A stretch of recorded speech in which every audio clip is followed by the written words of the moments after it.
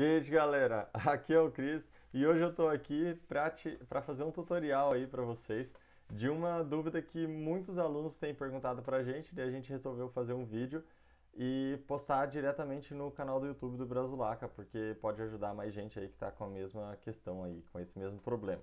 E a questão é, como colocar o teclado polonês no Windows 10?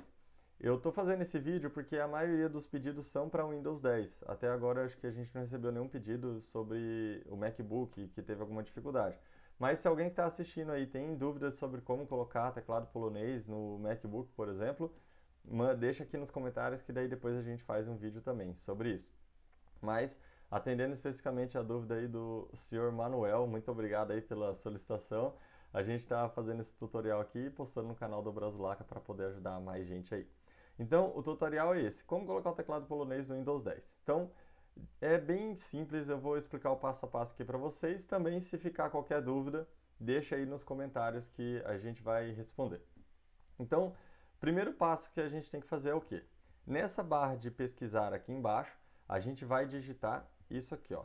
A gente vai digitar editar opções de idioma e teclado. Quando você digitar essa, essa essa, editar opções de idioma e teclado. Quando você digitar isso aqui nessa, nessa barrinha, vai aparecer esse ícone aqui, ó. E daí você clica em cima desse, desse ícone. Quando você clicar em cima desse ícone, vai aparecer essa nova janela. Nessa janela a gente vai configurar para colocar o idioma polonês.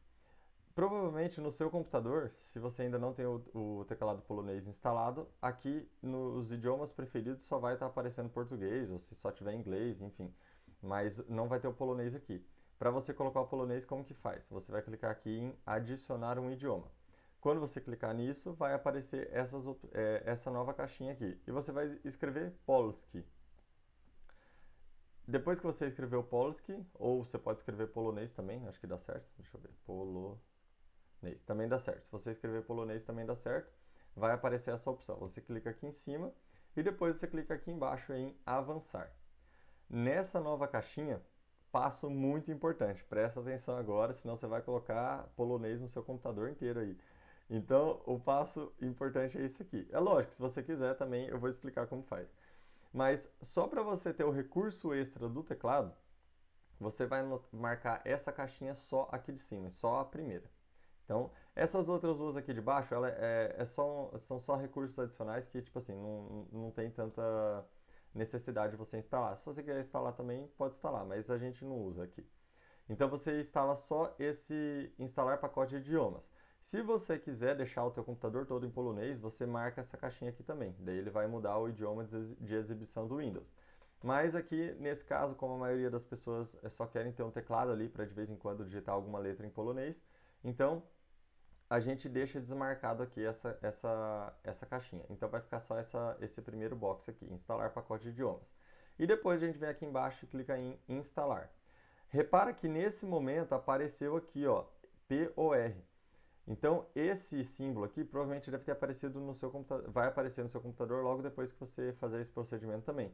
Porque é, é a partir daqui que a gente vai selecionar qual teclado a gente quer utilizar. Então, enquanto isso aqui, eu não vou nem pausar o vídeo, vou deixar só para vocês verem também quanto tempo leva esse procedimento, porque é bem simples e é bem rapidinho.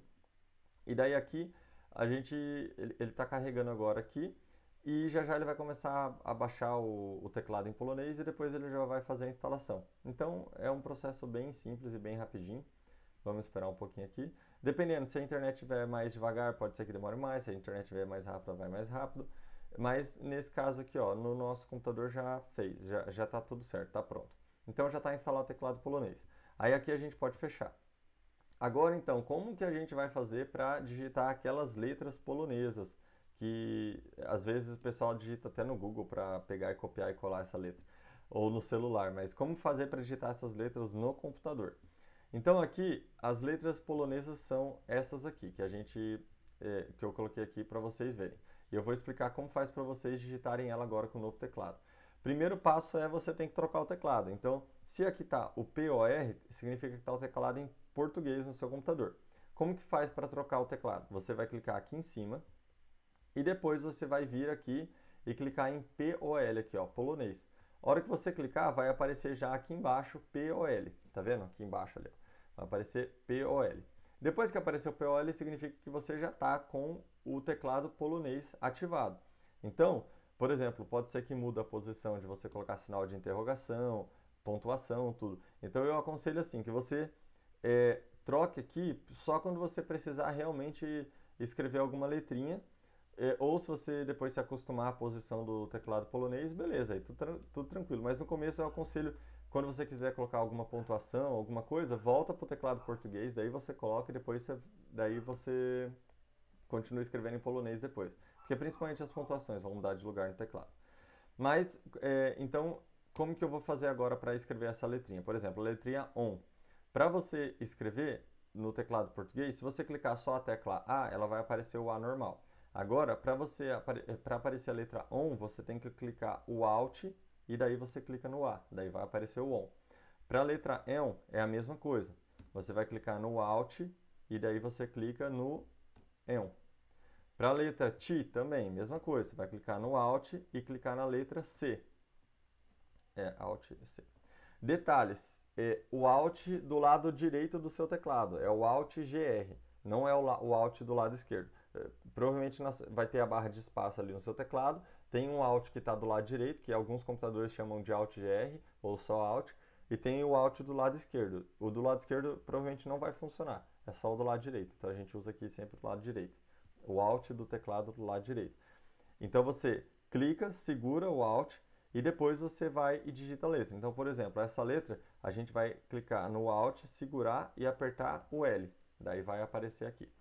Por exemplo, a letra Ni. Aí a gente vai clicar no Alt, segurar e apertar a letra N. E assim por diante. Por exemplo, a letra U, né, que é como se fosse quase um O com acento do português, mas em polonês é U, você vai clicar no Alt, segurar e clicar na letra O. Aí vai aparecer o U aqui. Então, assim por diante. O único segredo, então, normalmente assim, é bem simples. É sempre, por exemplo, se você quiser fazer o A um pouquinho diferente, que é o ON, você vai clicar no Alt, segurar, aí apertar o A e soltar. Agora, se você quiser clicar, é, fazer o EON, você vai fazer a mesma... Oh, aqui eu também tinha colocado errado. Peraí, eu vou corrigir aqui. Se quiser fazer o EON, você clica no Alt, segura, aperta no EON, daí você pode soltar o Alt. Então é sempre assim. Porém, no S também, no X, né, também, a gente clica aqui, segura no Alt, coloca o S, aí aparece o X. Aí tem uma questão, nessas duas letras aqui, no G e no G. Então, a, a diferença é que a gente só tem uma letra Z no teclado. Então, uma você utiliza para fazer o G e é, a letra Z você utiliza, deixa eu ver aqui, é, a letra Z o Alt mais o, o Z vai dar essa aqui de baixo, o G. E daí, para você fazer essa de cima, que é o G, você vai utilizar o Alt mais o X, que está do ladinho do Z ali no teclado. Então, basicamente assim, é sempre é, o que é parecidinho com A aqui, né? O ON, você vai clicar o Alt e o A. Então, aqui você vai colocar Alt, opa, Alt, GR mais o A. Aí você vai seguir na sequência. Depois, o EN é o Alt GR mais o E, o TI, Alt GR mais o C, e assim por diante. O E, Alt GR mais L, aqui Alt GR mais o N, Alt GR, opa, Alt GR mais o, a letra O, Alt GR mais a letra S, aqui só que vai inverter, né? Aqui é Alt GR mais o X, e aqui é Alt GR mais a letra Z. Então seria assim que você faz o teclado, as letras diferentes que tem no polonês, você fazer isso diretamente no teclado do Windows. Deixa eu só conferir aqui se eu não fiz certinho. É, isso aí. Então esse foi o tutorial. Se você tinha algum problema aí sobre como eh, escrever essas letras polonesas no teclado do computador, comenta aí pra gente, deixa um curtir ali no vídeo. Se você tiver algum amigo também tá ou algum familiar seu que também está estudando polonês, e tem essa mesma dificuldade, já encaminha esse link aí do vídeo, manda, pede para essa pessoa assistir aqui o vídeo no canal do Brasulaca, que ela vai aprender também como fazer essa questão do, do teclado polonês no Windows 10. E mais uma vez, relembrando, se alguém tiver alguma dificuldade também com o MacBook, deixa aí nos comentários que depois a gente pode preparar um vídeo. Fechou?